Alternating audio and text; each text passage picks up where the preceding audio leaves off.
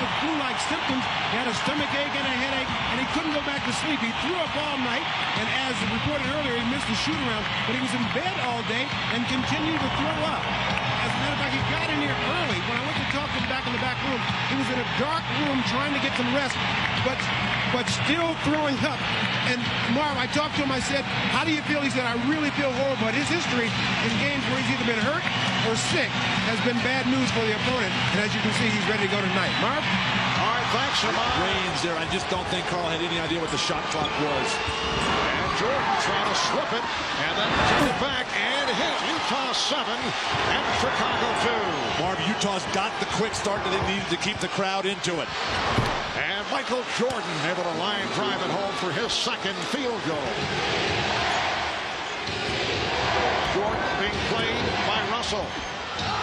Harper for three. Yes. Opening quarter, Chicago just 5 to 15. Michael Jordan is back, putting the move on Chris Morris.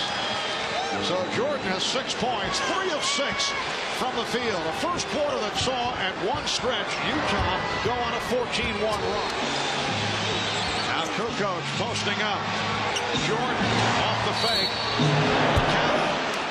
Would have career that he went an entire game without a free throw. Terrible pass. Well, John Stockton with a rare mistake. Michael Jordan draws the foul. Very good to Utah, almost so much that they forgot to go to inside game because they're getting so many good scores. Hornacek, back-to-back horrible turnovers for Utah. And puts moves on Hornacek. So the Jazz now leading 36-24.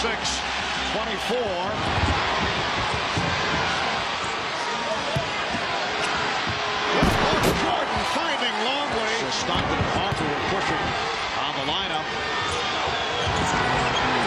Jordan to the crossover.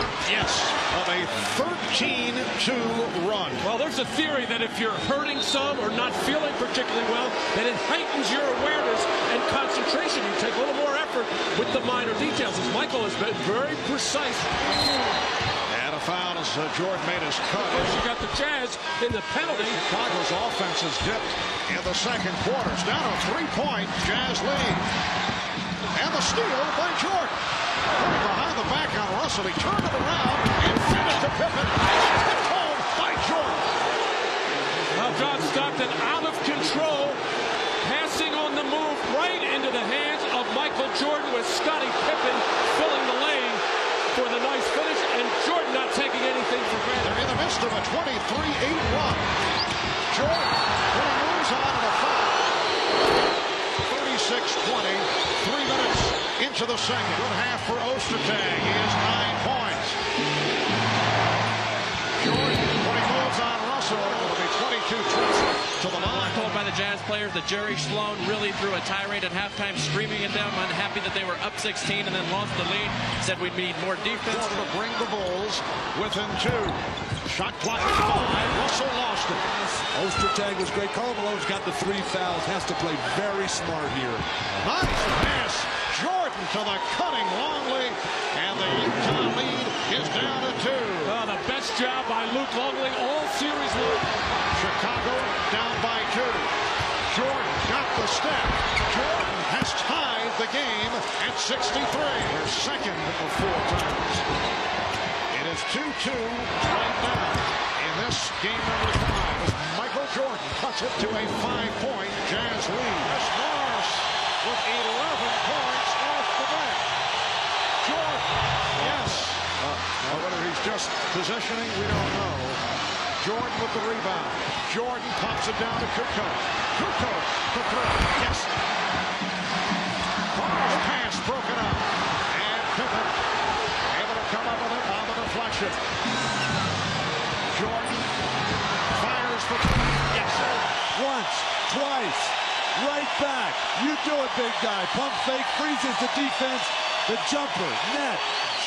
He gets there and sits back. And oh. They put the ice bag on his neck. He won't even take the Gatorade. Russell on Jordan. Anderson cheating over. Shot clock at seven. Jordan shooting. Yes. Chicago 79 and Utah 77. It was his burst of speed. Three-point Jazz lead. Bulls have missed their last six shots. Jordan, yes. But Jazz by one with two minutes and 40 seconds to go. Down to 50 seconds. Here's Longley with the pick. Here's Jordan. Foul during the season. And the game is tied. 10 on the shot clock.